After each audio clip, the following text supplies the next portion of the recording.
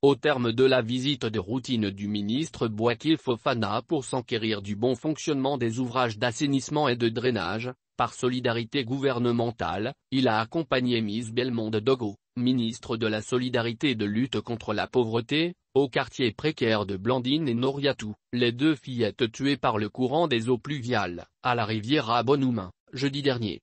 Les deux membres du gouvernement ont présenté aux familles éplorées leurs condoléances, au nom de l'État ivoirien et ont apporté, un soutien d'un montant de 2 millions de FECFA aux géniteurs des deux fillettes ainsi qu'à une fille rescapée, mais aussi aux sauveteurs. Madame la ministre a appris la triste nouvelle, deux jeunes fillettes qui rentraient à la maison ont été surprises par des eaux de ruissellement, malheureusement elles n'ont pas pu résister, le destin cruel a fait qu'elles ont été emportées.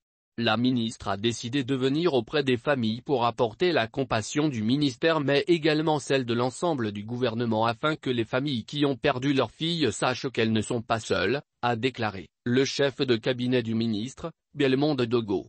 Les fillettes décédées sont toutes les deux issues de parents burkinabés.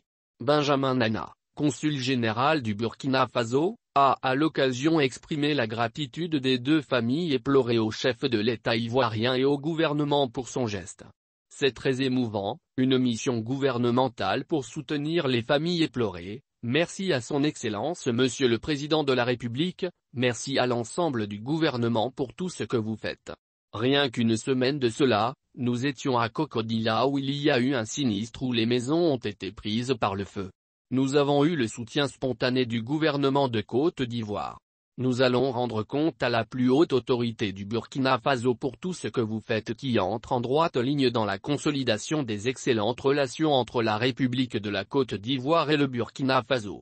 Beaucoup de courage aux familles éprouvées, a expliqué, le consul général. Nous apprenions par ailleurs que les deux fillettes seront inhumées mardi. Pour rappel, le vendredi 22 avril 2022, aux environs de 06 heures, le commissariat du 30e arrondissement a été avisé de la découverte de deux corps, 02, sans vie dans le grand bassin de la rivière Bonoumain non loin de la pharmacie Bonoumain. Cliquez pour agrandir l'image du constat de l'officier de permanence qui s'est rendu sur les lieux. Il ressort qu'il s'agit des corps sans vie de 2, 02, fillettes qui ont été retirées de la boue par les riverains suite à la pluie diluvienne du jeudi 21 avril 2022. Il s'agit des nommés Kiema Blandine, 0,8 ans, burkinabé, élève en classe de CP2 à l'Epsinfo de la rivière Abonoumain, domicilié à la rivière Abonoumain et de Zampo Noriatou, 10 ans, burkinabé, élève en classe de ce 1 à l'Ep 6, domicilié à la rivière Abonoumain. Jeudi aux environs de 17h, les enfants se sont rendus dans une mosquée pour rompre leur jeûne. Le temps était menaçant, à leur retour à 19h elles sont passées dans le bas-fond et l'eau de ruissellement les a emportées.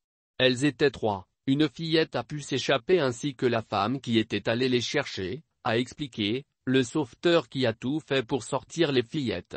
Malgré son courage, ses efforts sont restés vains, puisque les deux corps seront découverts dans le grand bassin de la rivière Abonoumain à quelques mètres du lieu où les fillettes ont été emportées.